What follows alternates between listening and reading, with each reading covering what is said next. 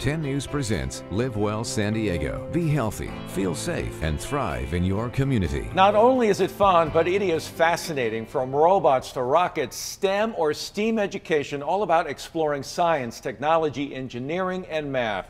And joining me today, Live Well San Diego partner Marissa Wells Ellis from the YMCA to talk about STEM learning. Great to have you here today. Thank you. Tell us a little bit about it. Yeah, so STEM stands for science, technology, engineering, and math.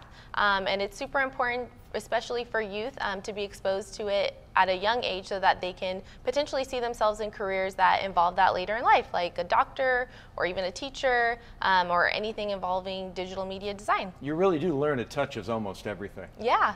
And as a Live Well San Diego partner, the Y has some great programs for kids. Mm -hmm. We um, offer several camps that uh, involve robotics and just STEM learning in general. And then we also have a free eight week program for teens at the Mission Valley YMCA called Next Gen Institute um, that focuses on digital media design um, and workforce development. A lot of the approach is to get kids to learn about STEM without even feeling like they're learning.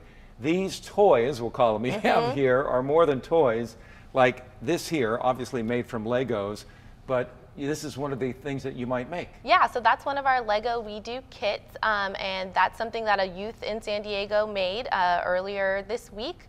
Um, and yeah, it's made from Legos, and they put it all together and it comes up with an amazing creation. There you go. And you can pretty much make anything these days out of Legos and motorized and all of that. Yep. And parents too can do their part to inspire kids at home to want to learn. Yeah, definitely. Um, if you just work with your child at home is when you're cooking, when you're grocery shopping, um, a lot of that stuff already involves science and math and engineering. You'll find that there is STEM everywhere mm -hmm. and 10 News supports STEM learning programs. For more information, go to 10news.com, click on Live Well.